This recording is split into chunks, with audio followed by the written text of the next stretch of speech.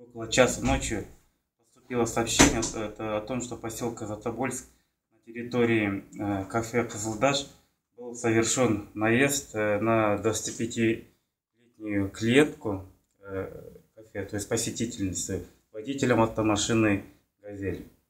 По данному факту был осуществлен выезд на место происшествия, в ходе которого был установлен, что Умышленный наезд на автомашине «Газел» совершил 33-летний житель города Кустанай в целях э, соблюдения презумпции невиновности и данных досудебного расследования. Данные подозреваемые в настоящее время не вправе разглашать.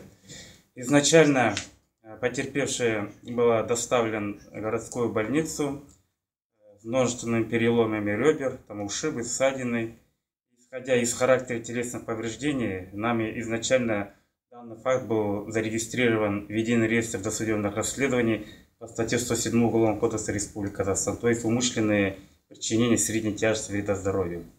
Дополнительно, по факту нарушения общественного порядка в этом же кафе «Кызылташ» э, было дополнительно возбуждено уголовное дело по статье 293 Уголовного кодекса Республики Казахстан, это хулиганство целях установления тяжести причиненных телесных повреждений по настоящее время по медицинской документации э, потерпевшего назначена судебно-медицинская экспертиза, производство которой находится на исполнении.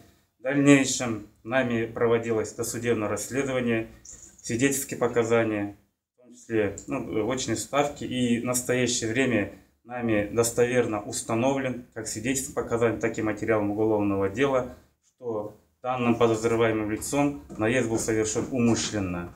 В этой связи э, уголовное дело со статьи умышленной причине средней тяжести вреда здоровью было переквалифицировано на статью 24 часть 3 и 99 Уголовного кодекса Республики. Это как покушение на убийство.